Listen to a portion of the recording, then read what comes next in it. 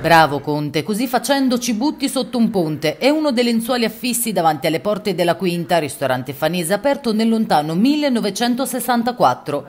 Un locale storico della città che oggi come tanti altri sta affrontando un momento difficile. Da qui il messaggio di disperazione lasciato all'ingresso sul lungomare di Sassonia. E poco distante davanti a un cancellino dello stesso locale c'è il secondo striscione con su scritto la disoccupazione involontaria è il male più terribile, soprattutto se causato dalla disorganizzazione politica politica. Anche noi lavoriamo in sicurezza. I lenzuoli sono appesi da venerdì sera in concomitanza con l'iniziativa promossa dal Ristor Italia. Decine gli imprenditori che hanno lasciato le luci accese in segno di protesta, ma i titolari di questo locale hanno voluto fare di più, scrivendo alcune frasi per esprimere il loro grido di dolore perché secondo noi è una situazione ingiusta, ci sono fatte eh, delle regole che non sono eque e, e non, non, siamo una categoria eh, più a rischio di tante altre quindi protestiamo per questa cosa qua. E se vogliamo mantenere le distanze è giusto allora che tutti stiano a casa, uscire solo per le necessità, che le necessità alla fine si riducono nelle dita di una mano. Quindi a noi questo ci fa arrabbiare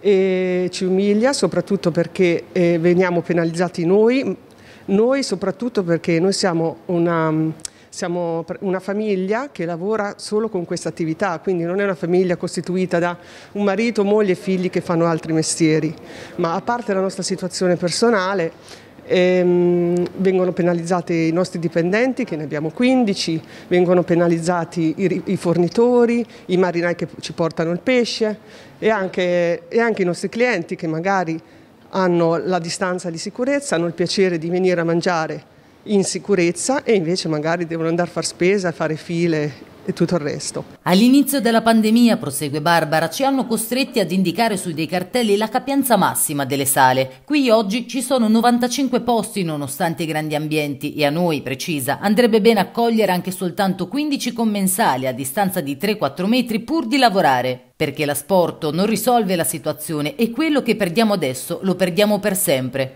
Rispettiamo tutti i malati e chi soffre, aggiunge Marco Renga. Quello che chiediamo sono gli aiuti e la possibilità di riaprire in tutta sicurezza. Ci dispiace anche per il discorso di poter magari dover fare dei licenziamenti.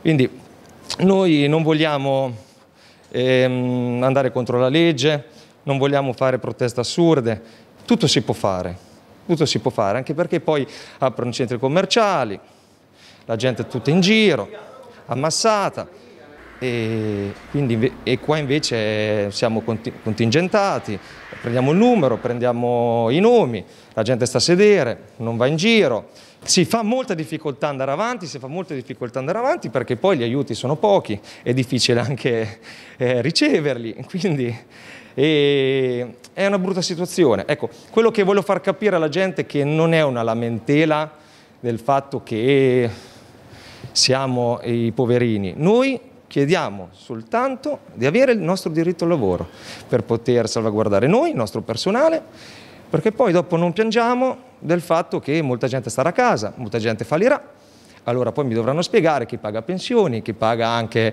stipendi anche, no? eh, agli enti pubblici, a, cioè è, un, è, una cosa che riguarda noi oggi, noi come palestre, teatri e anche, voglio anche fare un saluto ai, ai miei amici anche per quanto riguarda eh, le scuole di ballo che ora chiaramente, eh, vista adesso la pandemia, sembra assurdo, però sono tutte cose che comunque aiuta anche alla gente a, a stare meglio tutto quanto, però eh, vogliamo, solo, vogliamo solo vivere con più serenità. Ecco, tutto si racchiude tutto in questo. Maggior serenità nel rispetto di tutti, di chi sta male e nel rispetto di tutta questa situazione.